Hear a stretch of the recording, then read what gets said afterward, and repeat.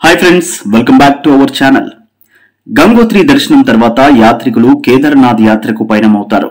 గంగోత్రి నుండి ఉత్తర కాశీ మీదుగా వాహనాల్లో రుద్రప్రయాగ చేరుకోవచ్చు. కేదార్నాథ్ వెళ్ళే మార్గంలో మోటార్ వాహనాలు వెళ్ళగల చివరి ప్రదేశం గౌరీకుండ్.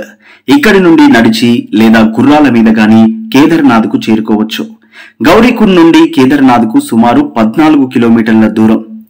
దేశంలో జ్యోతిర్లింగాలుగా పేరు పొందిన పన్నెండవ శైవ క్షేత్రాల్లో పదకొండవ లింగం కేదార్నాథ్. కేదార్నాథ్ ఆలయం మూడు పర్వతాల మధ్య ఉంటుంది. వాటిపైన గాంధీ సరోవర్ అనే పెద్ద సరస్సు ఉంటుంది. అక్కడి నుండి కరిగే మంచు మూడు పాయలుగా చీలి కేదార్నాథ్ ఆలయం చుట్టువైపుల నుంచి కిందకు సాగి మందాకినిగా రూపుదాల్చుకుంటాయి అద్భుతమైన మందాకిని నది ఆలయానికి సమీపంలో ప్రవహిస్తుంది.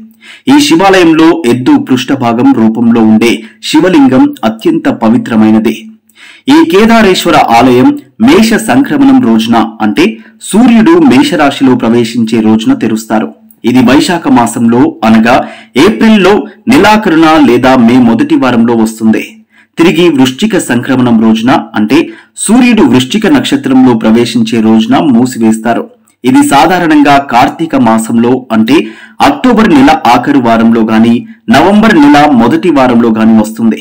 ఈ స్వామివారు ఆరు నెలలు మానవుల పూజలను అందుకుంటే మిగిలిన ఆరు నెలలు దేవతల పూజలు అందుకుంటారని చెబుతారు.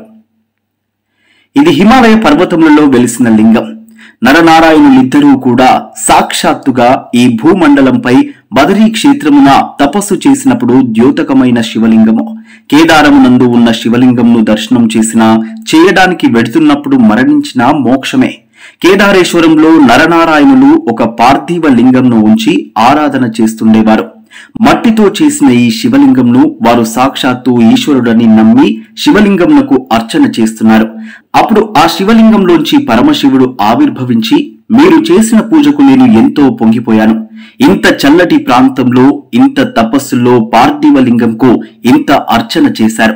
మీకేమి కావాలో కోరుకోమని అడిగారు. అప్పుడు వారు స్వామి ఇక్కడే ఈ బదరీ క్షేత్రమునకు అవతలి వైపు హిమాలయ పర్వత శృంగముల మీద నీవు స్వయంభు లింగమూర్తివై వెలిసి లోకమును కాపాడు అని అడిగారు.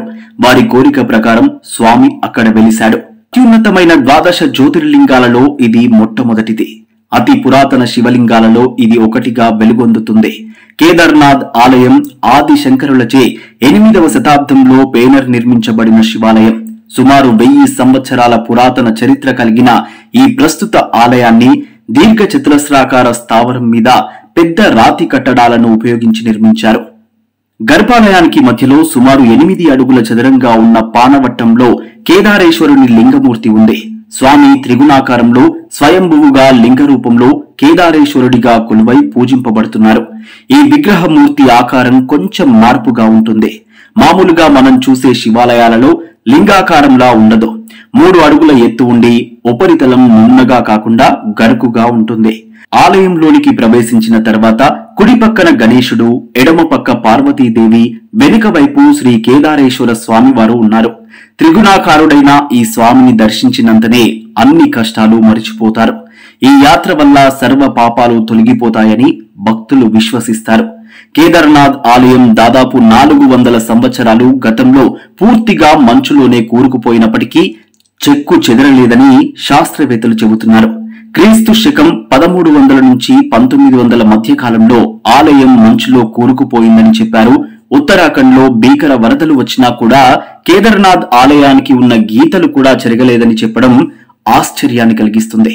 ఇంతకన్నా ఏం కావాలి చెప్పండి? ఆ శివుడు ఉన్నాడనడానికి ఆధారం మీరు కూడా ఆ శివుని భక్తులు అయితే హరహర మహాదేవా అని కామెంట్ చేయండి. వీడియో నచ్చితే లైక్ చేయండి మీ ఫ్రెండ్స్కి షేర్ చేయండి అలాగే మన ఛానల్ని సబ్స్క్రైబ్ చేసుకోండి.